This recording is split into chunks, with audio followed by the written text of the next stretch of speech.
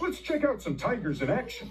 If you don't have heart, you're not going to make it in football. And when I met Harmony, I knew that nothing was going to hold her back. When I was little, I always used to play football in my neighbor's yard and at recess. So when Coach Woodcock told me I could try out for football, I was like just so excited. The day of tryouts, I watched her kick it, and I said, holy moly, this is a real deal. All the boys were like, dang.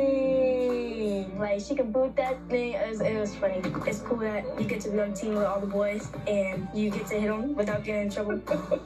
they have faith in me. Our football team is like a family, and I'm like their little sister. She's a dance team member and now a starter on a football team. You don't want to ever deny somebody at least a chance. She's kicking football in the backyard and now she's doing it under lights at a high school stadium and she's helping us win. Dang.